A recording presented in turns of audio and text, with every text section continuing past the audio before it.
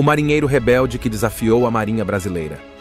João Cândido Felisberto, conhecido como o Almirante Negro, liderou a revolta da Chibata no Rio de Janeiro em 1910, buscando por fim as práticas violentas da Marinha, que frequentemente aplicava castigos físicos, especialmente o uso da chibata, contra os marinheiros, a maioria deles negros.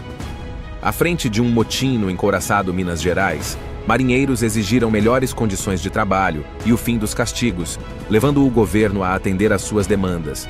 No entanto, a reação implacável das autoridades resultou na prisão e tortura de João Cândido, que passou anos em prisões e hospitais psiquiátricos. A Marinha o renegou e o perseguiu levando-o a enfrentar uma vida difícil após o levante, sofrendo com traumas físicos e mentais, até sua morte em 1969.